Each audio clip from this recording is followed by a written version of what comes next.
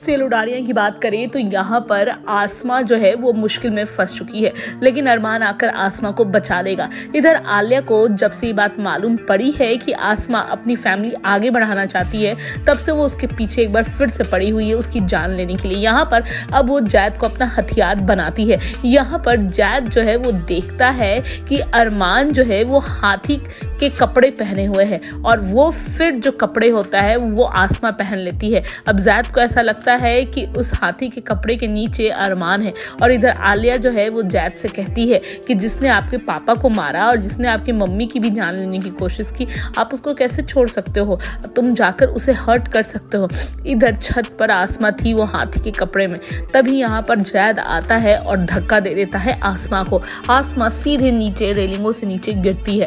आपको बताते चले कि अब जैद के इस बिहेवियर को अरमान बर्दाश्त नहीं करेगा। तो वहीं आसमा ये जानने की कोशिश करेगी करेगी कि आखिर जैद ऐसा कर क्यों रहा है?